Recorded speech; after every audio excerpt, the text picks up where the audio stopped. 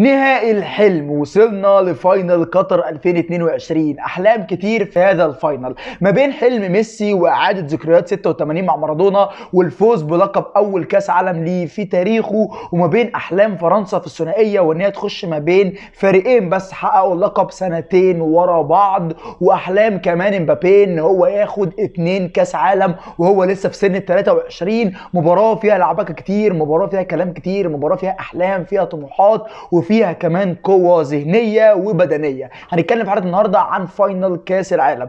وكل ما تريد تعرفه عن ال final هتعرفه في الحلقة دي من أخبار لتشكيل لطريقة لكل حاجة. فقبل ما نخش في أي حاجة انزل اعمل like. ولو مرة تشوفني اعمل اشتراك في القناة وفعل الجرس عشان حلقات قهوة المونديال تجي لك أول ما تنزل على طول. يلا بينا نخش في الحلقة. حطني رقم واحد في القصيم أهلا بيك يا وجيه في حلقة جديدة من قهوة المونديال وحلقة النهارده هنتكلم ما قبل final كأس العالم. خلاص؟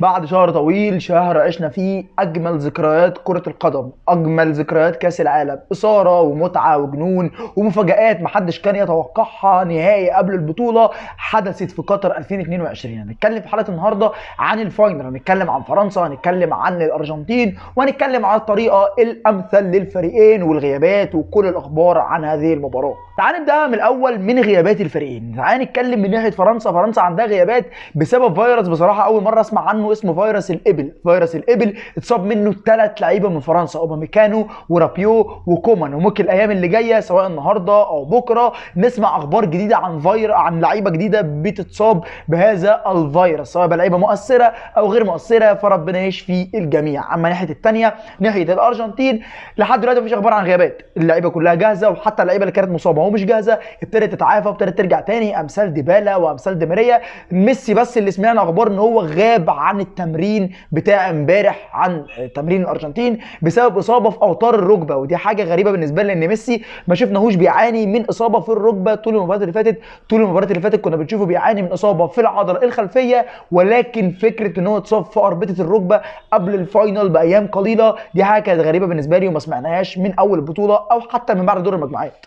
تعالى اكلمك عن الطريقة الأمثل للفريقين وطريقة الأمثل للفريقين دي هنتكلم فيها شويتين شوية. تعالى اكلمك عن حامل اللقب.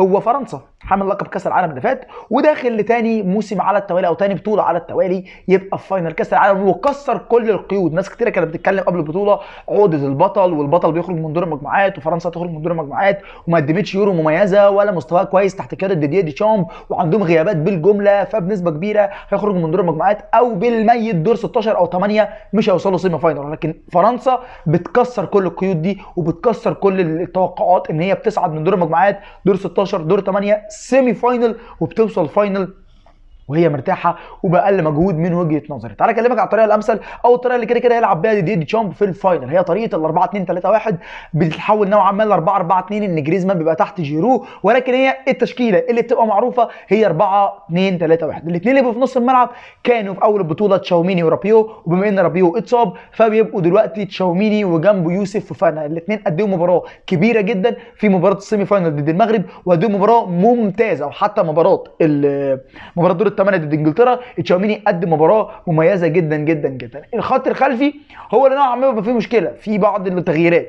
إبراهيما كوناتيه كده كده ثابت اللي كان بيتغير جنبه سواء فران أو أوباميكانو وبنسبة كبيرة هيلعب بفران ليه؟ لأن أوباميكانو أصلا مصاب. ناحية اليمين كوندي وناحيه الشمال هيلعب بيه ثيو هرنانديز. والثلاثي الأمامي هو جيرو وديمبيلي ومبابي إلا إذا حد فيهم غاب عن ال final سواء إصابة أو بسبب فيروس إبل. اللي إحنا عارفينه أو نقطة قوة المنتخب الفرنسي وده شفناه قدام إنجلترا وقدام المنتخب المغربي إن هم بيدوك الكورة امسك الكورة العب بيها إن شاء الله تاخدها وأنت مروح. بس أنا هاخد الكورة في مرتين هضربك بجونين وخلص الماتش.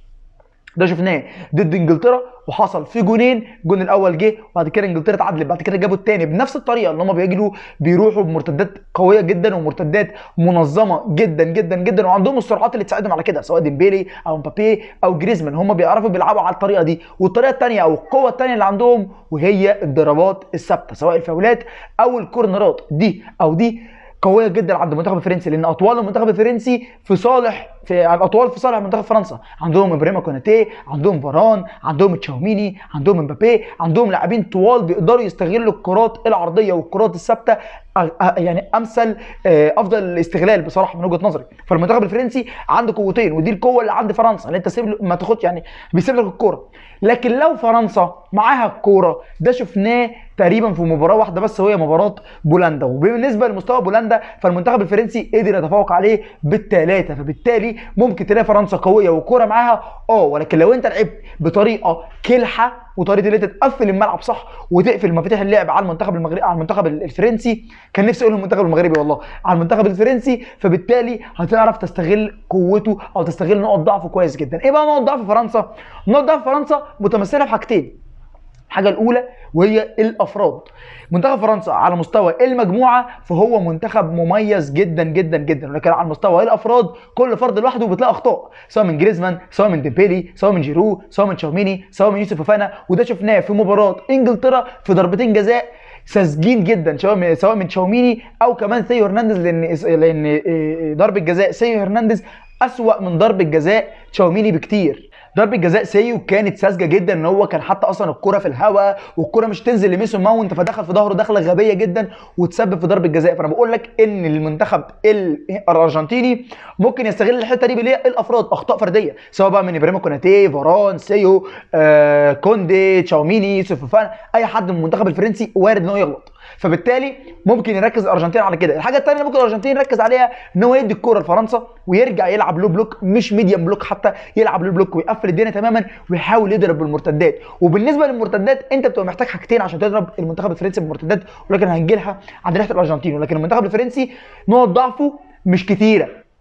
نقط ضعفه مش كتيرة ولكن نقط قوته كتيرة. عنده الع- العناصر الفردية كويسة جدا. هي نقطة ضعف ونقطة قوة سواء الفردية في في السلبيات اللي هي بي- بي- بيغلطوا كتير أو في القوة إن هو كويسين جدا على مستوى الفرديات. منتخب فرنسي منتخب صعب جدا جدا جدا. تعال بس نتكلم عن المنتخب الارجنتيني المنتخب الأرجنتيني. المنتخب الأرجنتيني بقيادة ليونيل ميسي. هقعد أقول لك خطط وهقعد أقول لك آه، تكتيك وهقعد أقول لك طريقة لعب وهقعد أقول لك كل ده وميسي بيجي بكوره ولا بكورتين بيكسر كل ده وبيضرب بيه عرض الحائط. ده عمله ضد كرواتيا وعمله ضد المباراة اللي ضد هولندا وعمله ضد كل الفرق. هو ميسي ال main. هو ده اللي هيعرف يصنع لك الفارق. هو ده اللي بتبقى قاعد متوتر قاعد قلقان. ميسي بيجي يقول لك هات الكورة كده جول هات الكورة كده خد assist روح جيب جول ده ميسي.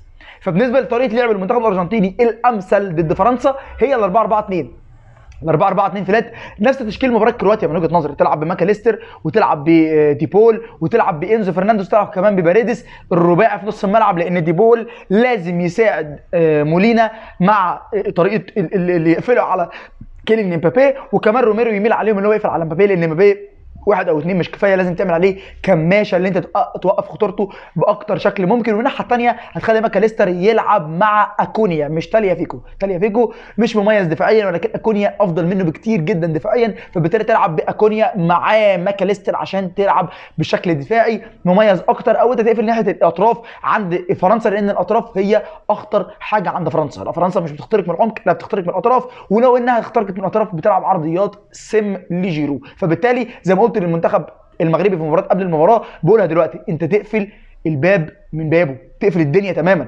ما تخليش المنتخب الفرنسي يرفع عرضيات دي حاجة الحاجة الثانية ما تخليش يبقى موقف واحد على واحد في على الأطراف عشان كده كده يتفوق سواء ديمبلي أو كيليان إمبابي. فأنت تلعب 4 4 2 فلات هتقفل الدنيا تماما على الأطراف هتحاول تقفل العمق بانزو فرنانديز وباريدس وبالتالي تعرف تعمل مرتدات منظمة ومرتدات سريعة زي اللي عملتها ضد المنتخب الكرواتي. منتخب كرواتيا مش مميز والكره معاه فأنت سبت له الكرة معاه ما يعمل بيها حاجة. والمنتخب الفرنسي كذلك من وجهة نظري أنت ادي الكرة لفرنسا خلي الكرة مع فرنسا أكتر وقت ممكن واضربه أنت بالمرتدات مش العكس. لأن المنتخب الفرنسي قوي جدا جدا جدا في المرتدات ومباراة المغرب خير مثال مباراة المغرب المغرب كانت ماسكة كورة كانت ماسكة المنتخب المغربي المنتخب الفرنسي علقه كورة. استحواذ وفرص وكل شيء ولكن منتخب فرنسا بكورتين. هو مش عاوز أكتر من كورتين. هو عنده اللعيبة في الثلث الأمامي يقدروا يصنعوا الفارق سواء ديمبلي أو مبابي أو جيرو. فبالتالي هو مش عايز أكتر من كورتين. فأنت ما تديلوش الفرصة إن هو يضربك بالكورتين دول. بصراحة لأن المنتخب الفرنسي قوي والمنتخب الأرجنتيني أنا شايف لولا ليونيل ميسي ما كانش وصلوا للدور ده. لولا ميسي ولولا قدرات ميسي ولولا إن ميسي عاوز يكسب اللقب السنة دي ما كانوش وصلوا للدور ده. المنتخب ال- الأرجنتيني خد قلم على وشه من منتخب فرنسا من منتخب السعودية في أول مباراة في البطولة وبعد كده اكتسح الكل.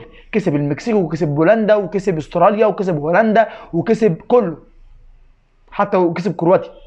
محدش كان قادر على كرواتيا خرجت البرازيل البعبع بتاع البطولة كان المرشح الأول للقب خرجته ضربات الجزاء واللي المنتخب الأرجنتيني يجي يديله بالثلاثه هتقول آه ده فريق مرعب لكن بالأصل أو. بال- لو أنت اتفرجت على المباراة هتلاقي ميسي هو اللي عمل كده فبالتالي مباراة هتكون صعبة جدا على الأرجنتين. منتخب فرنسا منتخب شرس منتخب صعب منتخب رخم. ناس كتير بتقول لك ده ديد شامب مش مقنع. منتخب جبان. أنا شايف إن المنتخب الفرنسي طول والكوره مش معاه هو جبان. اديله الكورة عشان تعرف تلاعب منتخب فرنسا. مباراة صعبة جدا على المنتخب الفرنسي ومباراة أصعب على المنتخب الأرجنتيني. هتقول صعبة على فرنسا ليه؟ أقول لك لأن المنتخب الفرنسي أكيد ما عندوش خطة ان هو يوقف ميسي. ميسي ما حدش بيعرف يوقفه. ولا تقول لي بقى تشاوميني ولا فوفانا ولا جريزمان ولا كوندي ولا إبراهيما كوناتيه ولا فاران ولا ثيو ولا أي حد. ميسي ممكن ياخد كورة يرقص الفريق كله ويروح يجيب جون عادي جدا. فميسي هو القوة الضربه عند المنتخب الارجنتيني هو النووي بتاع الأرجنتين. ولكن الناحية الثانية فرنسا عندها نووي كتير نووي كتير كتير كتير. وأنا بصراحة واحد من الناس اللي بشجع الأرجنتين في البطولة قلقان من مباراة فرنسا. فرنسا فريق رخم. فريق يعرف يضربك إزاي. فريق فعلا أو ديدير جام بيعرف من أين تؤكل الكتف. بيعرف ياخد اللي عايزه من المباراه بأقل مجهود ممكن. خد كأس العالم 2018 بأقل مجهود وبيحاول يعمل كده تاني في مباراة في, في كأس العالم 2022 لو أنا فرنسا خدته هبقى مقهور بصراحة. لأن المنتخب الفرنسي منتخب مستفز جدا جدا جدا بالنسبة لي. مع كل احترام للناس اللي بتعشق فرنسا ولكن بالنسبة لي فرنسا فريق مستفز لأبعد الحدود. مباراة هتكون صعبة ولكن حان وقت التوقعات. وتوقعات للفوز باللقب وبطل كأس العالم 2022 للأسف يا ليونيل مش هتكون أنت اللقب أو مش هتكون أنت صاحب اللقب واللي هياخد كأس العالم 2022 فرنسا وتوقعي إن فرنسا يكون بطل كأس العالم لتاني مرة على التوالي. في الأول وفي الآخر ده قرار شخص واحد هو رايي أنا في تحليل ما قبل مباراة فرنسا والأرجنتين. قول لي رأيك أنت وقول لي كمان توقعاتك في سيناريو المباراة وتوقعاتك للفوز باللقب. أنا بتمنى الارجنتين وميسي ياخدوا اللقب ولكن توقعي إن فرنسا هتكون هي بطلة كأس العالم. فقول لي توقعك أنت في ال comments. ولو حلقه عجبتك ما تعمل like ولو مره تشوفني اعمل اشتراك في القناة وفعل الجرس عشان حلقة ال final تجي لك أول ما تنزل على طول. وتابعنا على ال social media بتاعتي فيسبوك وتويتر وإنستجرام. هتلاقي في ال description تحت share على الفيسبوك retweet على تويتر وكان معاكم مصطفى. اشوفكم الحلقة الجاية. سلام.